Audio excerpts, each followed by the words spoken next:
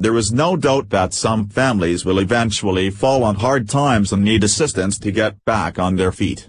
When that occurs, there are plenty of government programs and charities that give that much needed push to help people find their footing again.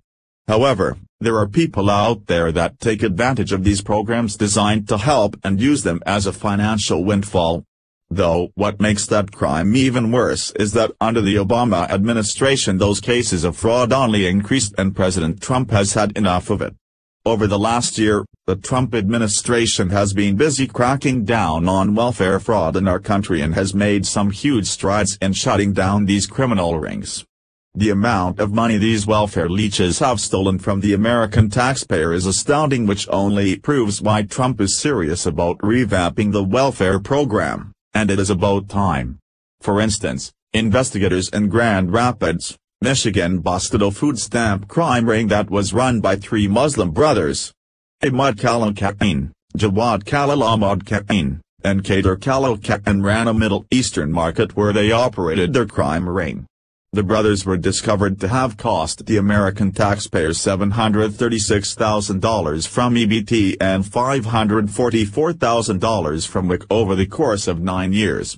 Thankfully, these brothers were caught and sentenced to prison for their gluttonous crime, but that was just the beginning of how widespread this welfare scam was.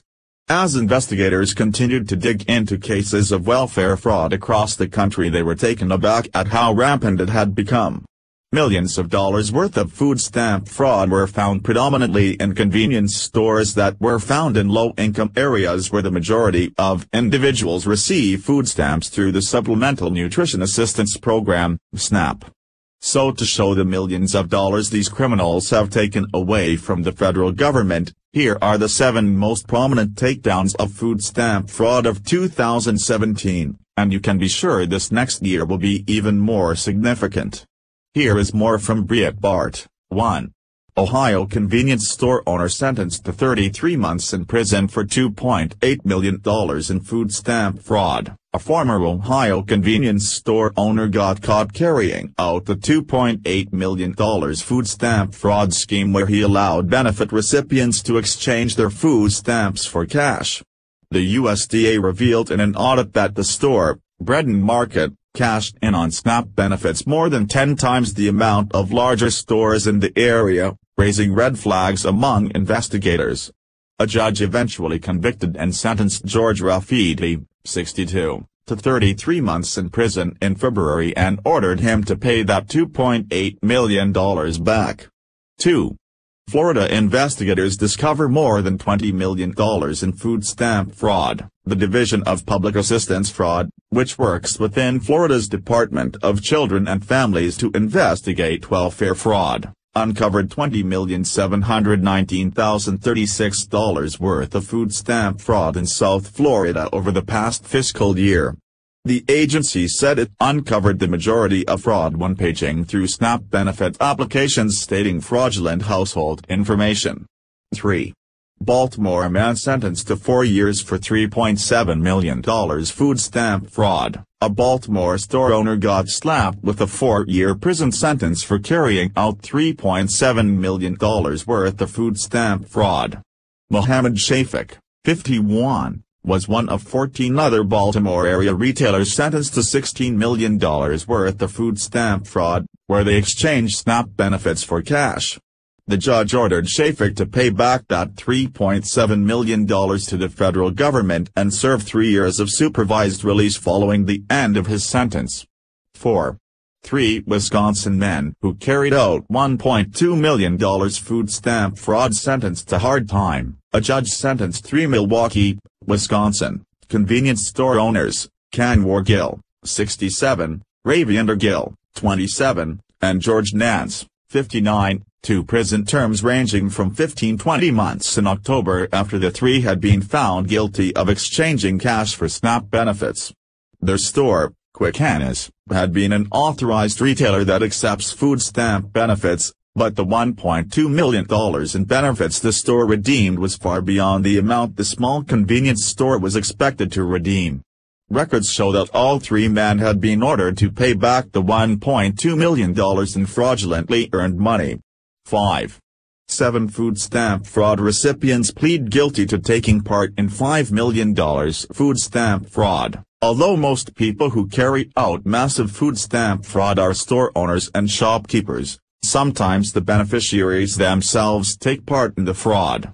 Seven South Carolina women who received SNAP benefits as part of a $5 million scheme pleaded guilty to defrauding the government of more than $20,000.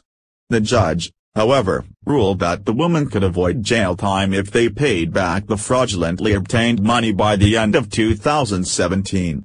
The store owners involved in that scheme were not so lucky. Three out of the five store owners faced five-year prison terms and were expected to pay back up to $5 million to the federal government. 6. Fundamentalist Mormon sect conducts $11 million food stamp fraud. Not all food stamp fraudsters are convenience store owners or food stamp recipients.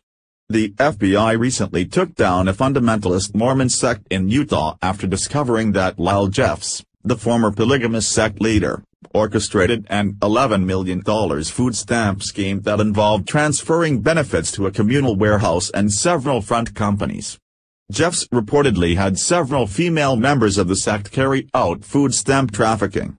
A judge sentenced Jeffs to five years in prison and ordered him to pay $1 million of that money back to the federal government.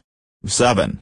Iraqi immigrant pleads guilty to $1.4 million food stamp fraud. An Iraqi immigrant pleaded guilty to $1.4 million in food stamp fraud in November for conspiring with others to defraud the U.S. government.